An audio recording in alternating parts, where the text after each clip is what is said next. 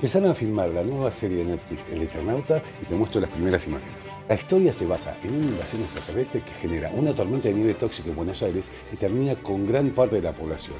Es ahí donde en medio de una resistencia aparece el protagonista Ricardo Darín como el Eternauta por ser un viajero de la eternidad que viaja en el tiempo y, spoiler alert, en el pasado se vuelve a encontrar con la familia que había perdido y al fusionarse con él mismo se olvida de todo lo que pasó y es ahí donde el autor decide publicar lo que el Eternauta le había contado y ahora aparece en la serie Netflix. Lo que muy pocos saben es que la serie es una metáfora de los desaparecidos durante la dictadura militar, porque el autor de la historieta realmente había desaparecido durante la dictadura. Nunca se encontró su cuerpo y después que sus cuatro hijas también habían sido secuestradas y asesinadas, pero antes y a escondidas, el mismo autor pudo escribir la historia El Eternauta 2. Pero eso lo dejamos para la próxima temporada. Y, por las dudas, si llego a desaparecer, te dejo en buena compañía. Y soy Ricardo verás.